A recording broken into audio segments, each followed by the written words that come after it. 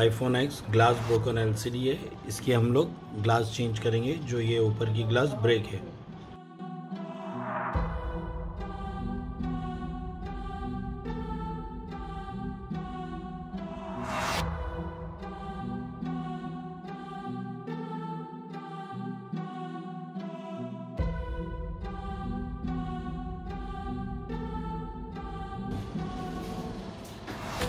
और ये दूसरी एलसीडी है। जो ओके है लेकिन इसकी टच बंद है। हाँ, ऊपर साइड नहीं चलती है हाफ़ एलसीडी है। एक जो है जिसके अंदर ग्लास चेंज होगा और एक एलसीडी है जिसके अंदर टच ग्लास चेंज होगा। ये एलसीडी पूरी ओके है लेकिन इसकी अपर साइड में टच नहीं चलती है इसलिए इसकी टच ग्लास चेंज होगी। जो ऊपर से इसका शटर डाउन नहीं होता है। और ना ही ये फ़ोन शट डाउन हो पाता है। दोनों एलसीडी का काम एक ही साथ करेंगे।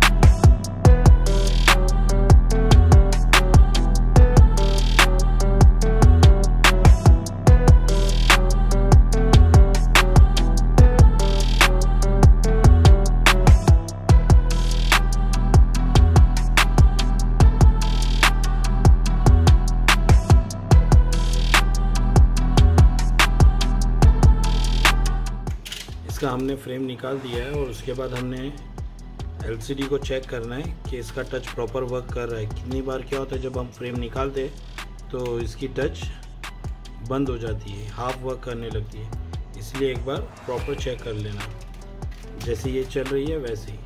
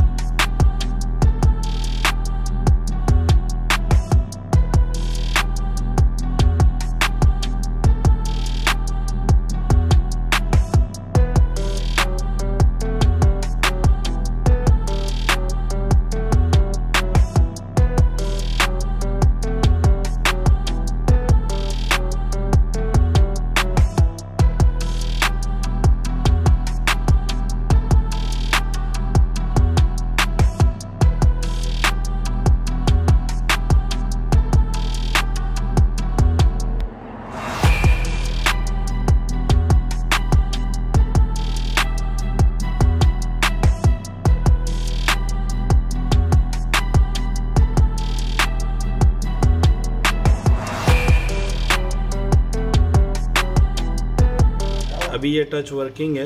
पहले ये टच वर्क नहीं करा था क्योंकि हमारी फिटिंग बराबर नहीं थी टच की, इसलिए बन करके फिर हमने स्टार्ट किया और उसको प्रॉपर टच स्ट्रिप लगाकर ऑन किया और अब ये टच वर्क कर रहा है। अब हम इसकी ग्लास चेंज करेंगे।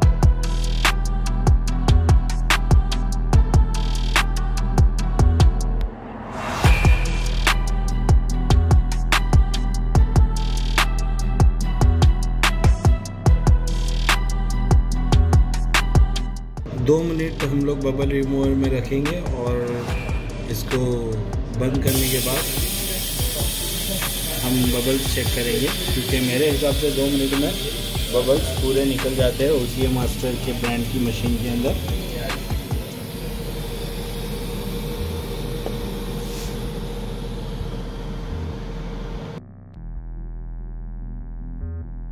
और मैं सही था, जैसे मैंने दिखाया आपको। कि ये एलसीडी पूरी रेडी हो चुकी है।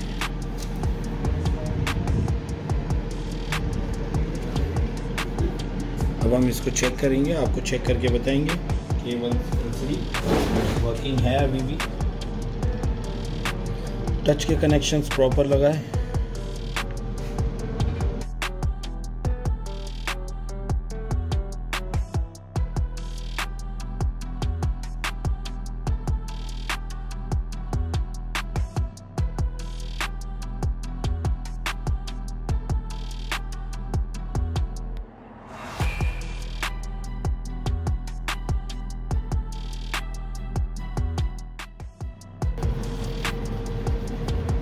हंड्रेड परसेंट टच वर्किंग है।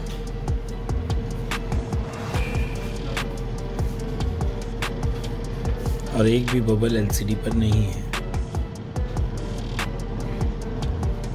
हम इसको पाँच मिनट के लिए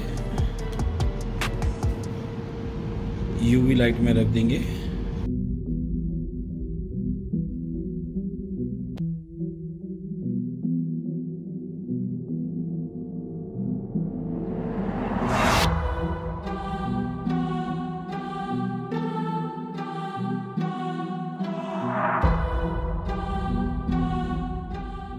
In.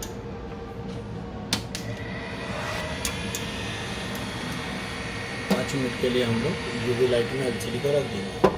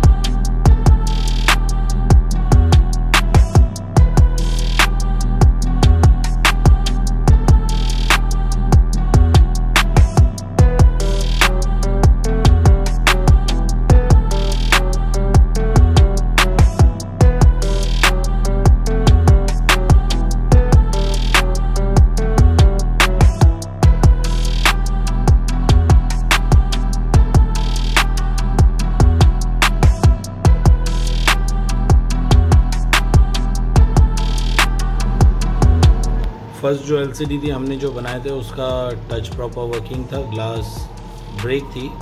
तो उसकी हमने ग्लास पूरी कंप्लीट चेंज कर दी और आपको उसका पूरा वीडियो बता दिया। अब ये सेकेंड एलसीडी है, जिसकी ये ऊपर की टच वर्किंग नहीं करती है और नीचे साइड पूरा पोर्शन चल रहा है। ये ऑलरेडी पहले कहीं बनकर आई है, इसके अंदर कॉपी टच लगा हुआ है। इसमें हम कॉपी टच नहीं लगाएँगे, इसमें हम ओरिजिनल टच लगाएँगे। ओरिजिनल टच एलसीडी के अंदर फ़ायदा यही होता है कि वो अच्छे से काम करती है और प्रॉपर चलती है। कॉपी टच जो होती है, वो बराबर वर्क नहीं करती है। अभी हम जब इसको निकालेंगे तो आपको वीडियो में समझ में आएगा कि कॉपी टच कैसी होती है।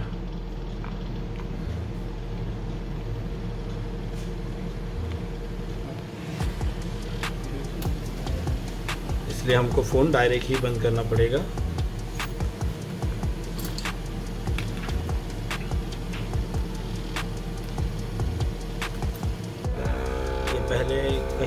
चुकी है इसलिए हम इसकी फ्रेम कट नहीं करेंगे, क्योंकि ये वैसे ही एकदम आराम से निकल जाएगी।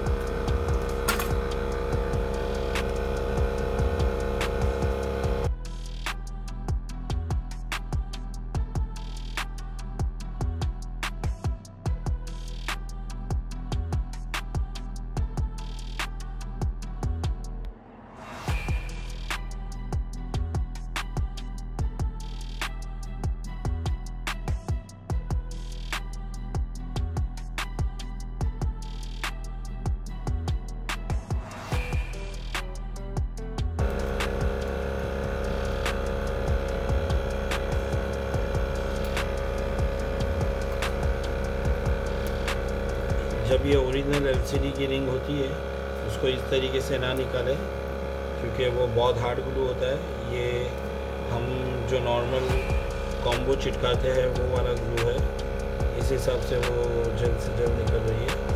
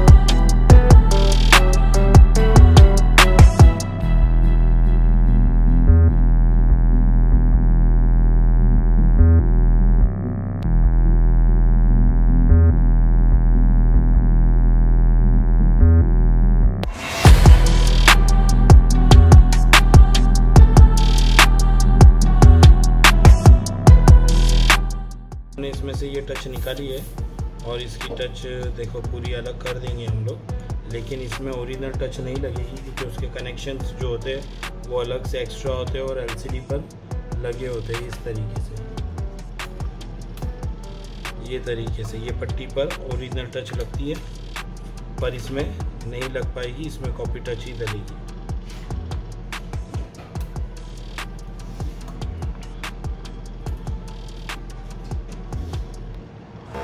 कॉपी टच इस तरीके से होती है आईफोन एक्स की। लेकिन ये भी वर्किंग होती है परफेक्टली चलती है। इसलिए अब हम इसमें ये लगाएँगे, वो नहीं लगा पाएँगे।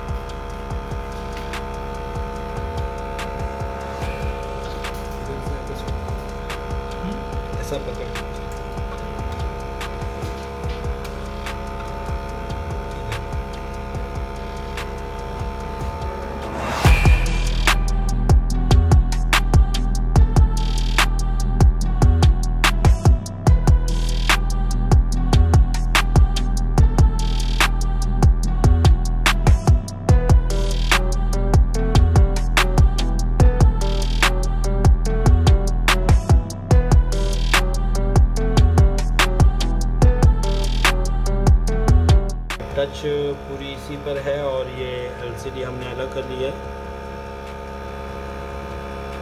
हम ये ग्लास भी यूज़ कर सकते हैं, इसलिए हम इसके ऊपर से जो टच लगी है, वो टच भी निकाल लेंगे।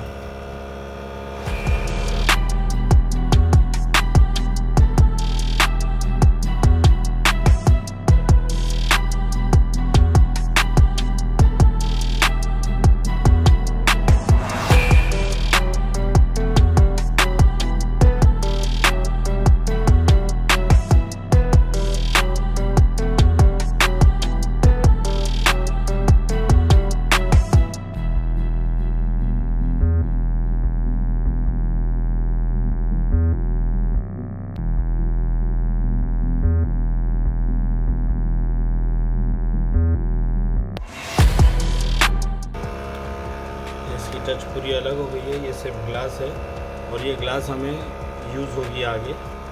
कभी भी कोई एलसीडी आएगी, जिसका टच ब्रेक होगा, हम उसमें तो हम बाद में क्लीन कर लेंगे और बाद में टाइम वेस्ट ना करके आगे बढ़ेंगे काम के लिए।